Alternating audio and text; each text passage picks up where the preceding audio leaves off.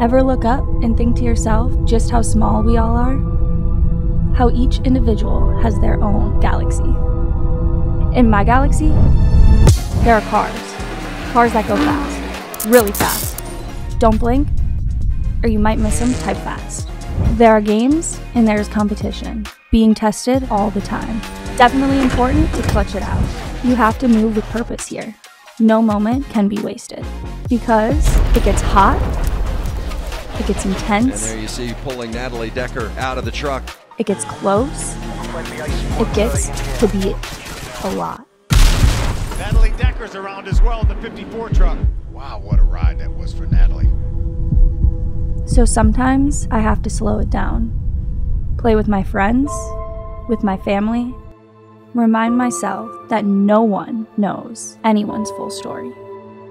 And then we get back to it. Get racing, get grinding, keep reaching, never stopping, instead shifting to where we need to be. Because in my galaxy, I have no boundaries. From the road to the stars, I'll play anywhere. I'm Natalie Decker, and this